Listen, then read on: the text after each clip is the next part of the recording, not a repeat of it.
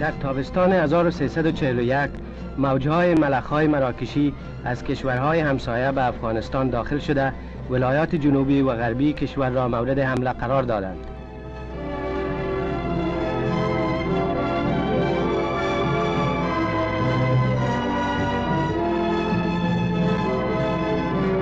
مردم هرات تحت رهنمایی متخصصان وزارت زراعت علیه ملخ به مجادله دامنداری دست زدند.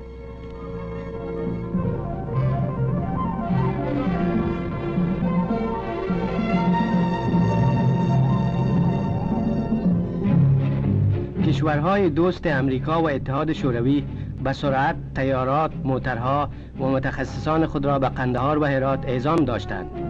این گروهی از متخصصان امریکایی است که در مجادله علیه ملخ با دهاقین افغانی در قندهار همکاری کردند و تا پایان کار به مجادله دوام دادند.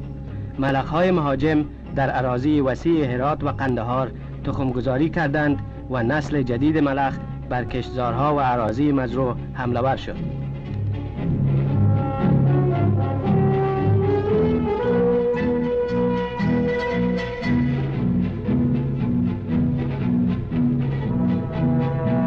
متخصصان خارجی مرکز مجادله خود را در حوالی شهر هرات تأسیس کردند و به مشوره وزارت زراعت پلان مجادلوی خود را علیه ملخ روی دست گرفتند.